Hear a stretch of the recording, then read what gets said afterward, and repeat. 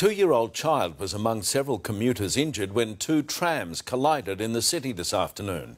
As Jade Vincent reports, elderly passengers were also sent flying in the nasty crash. Wounded commuters rattled after a smash none of them saw coming. Lots of things, just such a bloody big explosion, I thought, you know. And people were falling everywhere. There was an enormous thump and I was flat on my face. A two-year-old girl and a pregnant woman were among the eight people injured when the number 86 tram slammed into the rear of the number 96 along Bourke Street.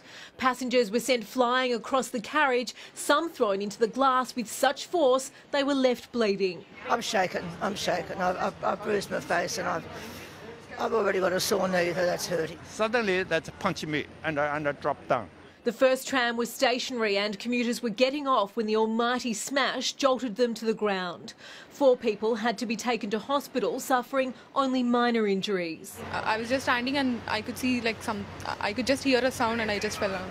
Yarra Trams is investigating how the collision occurred, examining the tracks to determine whether the approaching tram braked prior to the crash. If, as warned, trams can weigh the same as up to 30 rhinos, it's no wonder those on board felt the full force of the impact. Jade Vincent, 9 News.